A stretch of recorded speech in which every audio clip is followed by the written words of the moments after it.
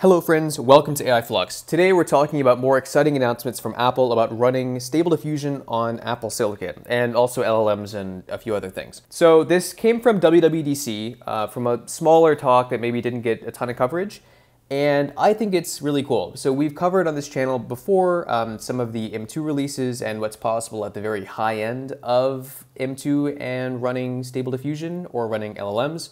We talked about running Falcon, and some big, big LLMs that generally you had to have either a set of A100s or a cloud instance to run, and how you could run those on you know, local M2 instances.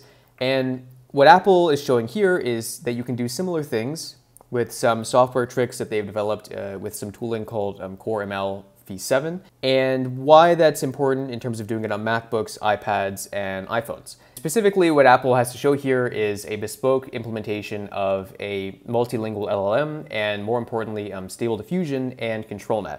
And there are a few tricks that you've used to do this, and I think it's pretty cool. So let's get into it. So Apple isn't the first to try this. The first company to try this was Snapchat with SnapFusion, and what's curious is SnapFusion actually uses Core ML and the neural engine, which is sort of the software suite that wraps Core ML and lets anyone who's building iOS apps or Mac apps uh, for Macs that use Apple Silicon um, to use that part of Apple's processor. And what's cool is, you know, the, the trend is using GPUs in the cloud for mobile apps is kind of overkill and it's expensive since GPUs are hard to find. So Apple putting engineering time into this actually makes a lot of sense. And to make this make more sense, um, they did a few things. So the first was focusing on something called weight compression, uh, specifically 6-bit um, weight compression, which means you can take the trained um, model or the set of weights that you have to use to actually deploy these models and make it smaller. In this case, they were able to, with 6-bit uh, weight compression,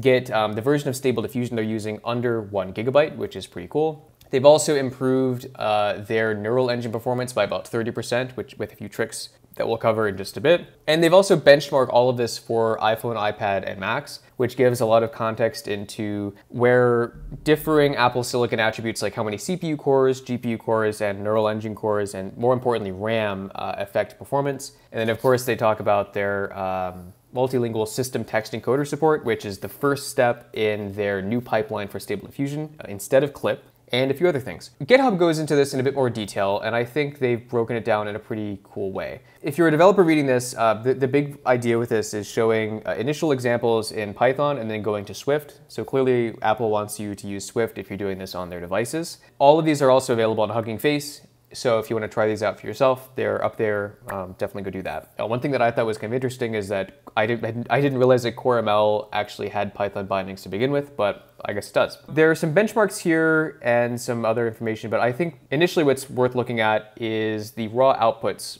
from their systems. So weight precision isn't super important, but basically this is just um, how much context you have in terms of the weights. Uh, in theory, the greater the precision, the larger they are, and the greater the precision, the better the images should look. And what's impressive with this is with, even with 6-bit weight precision, which is part of their compression, everything looks pretty good. Better than you, you know, like Stable Diffusion would look like coming out of a pretty capable GPU even six months ago. And the really important thing to look at here is they're comparing CPU and neural engine to CPU and GPU. And with our last video on Apple Silicon, you could tell that it's now possible to run inference uh, either with just CPUs uh, and just GPUs, and also uh, with a bit of a mix of, as you can see here, the CPU and neural engine. So you can tell that even on the with the compression, the results are still pretty good. Uh, some of these are pretty hard to discern what they're even from, which is great because it means less space uh, less memory usage, and basically the same output. And the biggest one here that this is meant to show is that the output from the CPU and neural engine and CPU and GPU is candidly the same. If you showed me these without showing me this column, I wouldn't be able to tell you which were actually, you know, better or worse. I think they're pretty much about the same. And it's important to note that there are minor differences here, specifically um, between the 16-bit and 6-bit results. The differences are comparable to the differences across float 16 and float 32, and um, this is kind of a quirk of how this is implemented on Apple Silicon, but I wouldn't read into it too much. The improvements that actually improve the neural engine, which again is how you is how Apple has wrapped the core ML processing units around software that lets you use them. They've done a few things. So basically at a high level, um, they've focused on weight compression and specifically um, techniques for pruning and palettization and uh, linear 8-bit quantization, which basically are ways that you can cram more information into a smaller space while keeping the important bits that actually you really need. The more technical implementations that they've done for this are um, one is a process that they call post-training palettization. The other is um, training time palettization. And they roughly describe this as um, the neural engine being capable of accelerating models with low palettization, so 2, 4, 6, or 8 bits, with iOS 17 and macOS 14. Compressed weights for core ML models can, can be just-in-time decompressed. This is the big innovation here during runtime, uh, as opposed to ahead of time decompression upon load, which if you've run Stable Diffusion on a GPU, uh, like a, NVIDIA GPU, this is what you do when you're waiting for it to spin up and dump everything into the GPU memory. They say this yields significant memory savings and enables models to run on devices with smaller RAM, so for instance, older iPhones. In addition, compressed weights are faster to fetch from memory, since it's just less stuff going back and forth, which reduces the latency of memory bandwidth bound layers. Um, so basically the lanes that are between either the Core ML processing or the CPU um, there's less stuff going back and forth, so in theory that's faster and they're less burdened.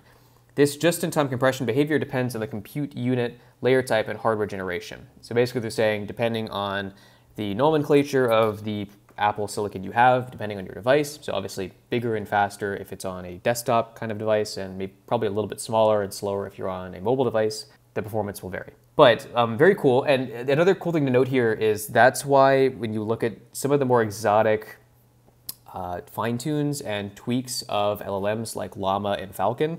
That's why sometimes uh, compressed versions of this uh, that focus a little more narrowly on a specific niche can actually perform better in specific areas like in coding or writing uh, than generalist models like GPT 3.5 or even 3.5 Turbo, which is pretty cool.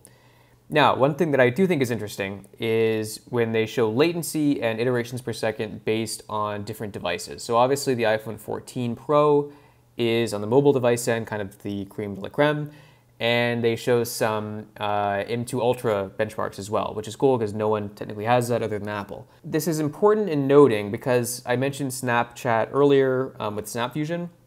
Uh, with Snapchat's implementation of this, specifically with some of their LLM stuff, um, these improvements, although it's just 10 to 30% uh, technically, with Snapchat's implementation of SnapFusion, that could actually equate to up to a 3 to 4x performance improvement.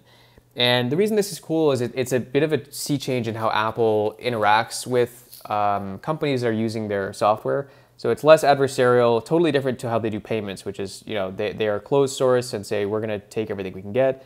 And with this, uh, it's Apple being a bit more open source, saying we want to build with you, um, approve and sort of support existing architectures you've already invested in with engineering time, and all in all, make iOS the best platform for mobile AI, which I think is kind of cool. So we will be covering uh, the GGML updates, and I think those are also um, massively important to um, the future of iOS and AI. It'll be curious if Apple starts to pick up that uh, development as well. But yeah, as always, I hope you learned something and we will see you in the next video.